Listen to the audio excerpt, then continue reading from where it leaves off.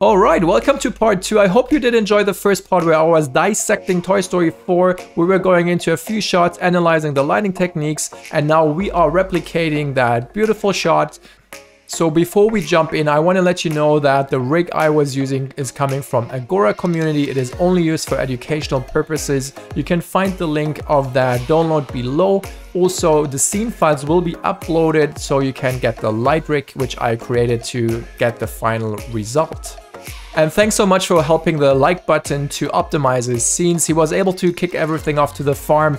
Um, he got everything back, the renders, but now he is struggling a little bit with compositing. He needs to comp all the AOVs together. And if you could maybe help him out just to set up the layers a little bit and so he can actually submit his, uh, his project for the finals. And you can also help him by subscribing to this channel and also making sure you have all the bells and whistles turned on. Alright, so let's get into replicating this light rig. Alright, so we are in Maya and I'm using Arnold for this, but you can use any render because I'm just showing you lighting techniques and this should apply to any other render engine.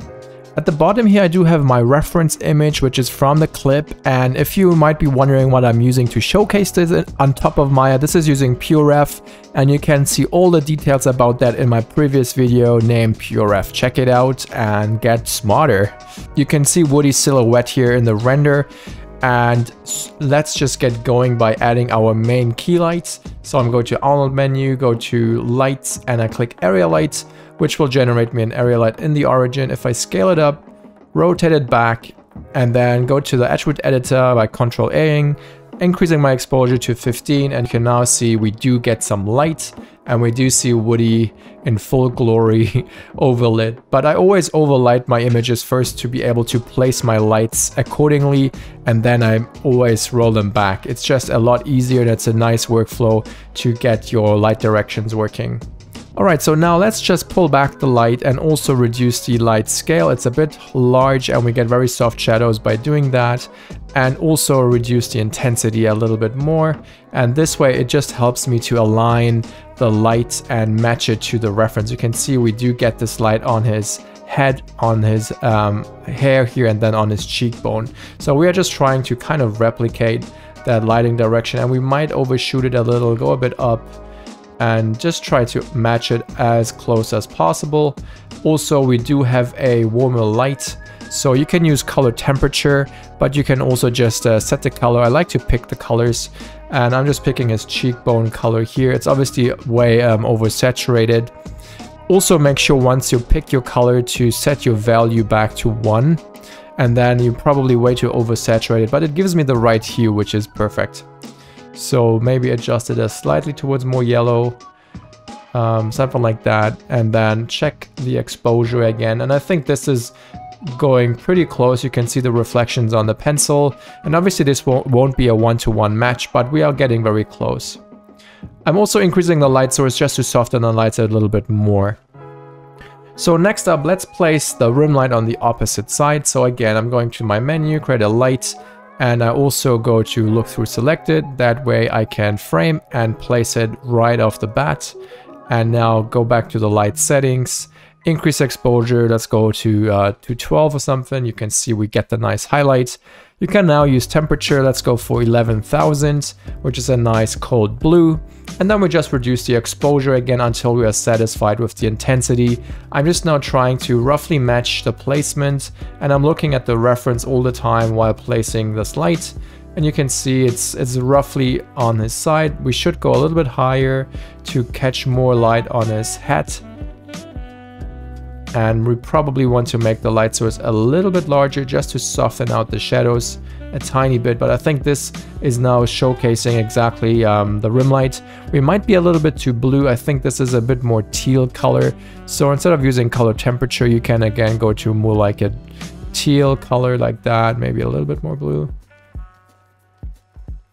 And now let's let's uh, get to the uplight. So it's essentially a reflection from the floor so I create another area light. I go to my perspective camera here and I just place it um, underneath Woody and we increase the light exposure to have a strong uplight just so we can place it. So back to 12, you can already see this looks nice and monstrous. We do want to align it a little bit. So we do want this side facing shadow.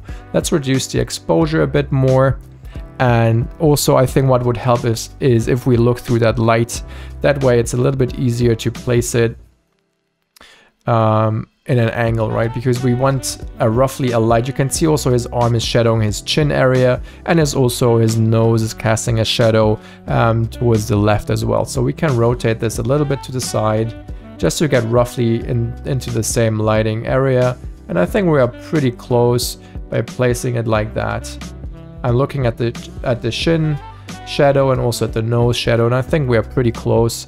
Also you can then um, scale up the light a little bit more or move it back like that, move it a little bit back and then scale it up to soften the shadows some more and then we can bring back the intensity. And also what I want to do is um, soften out or at least uh, change the color like that. Let's go a little bit more um, less warm, go a bit more to the yellows